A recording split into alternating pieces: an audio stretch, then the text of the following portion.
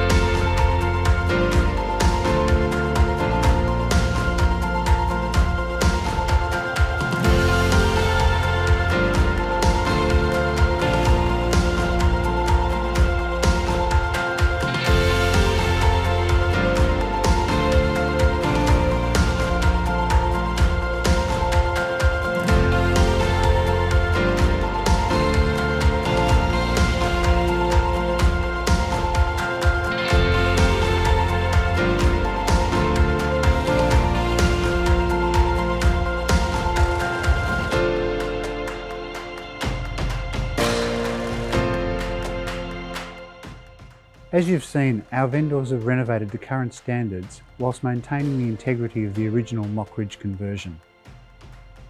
It's a beautiful home in an absolutely stunning location here on MacArthur Square. We look forward to greeting you here at one of the open for inspections or call me to arrange a private viewing.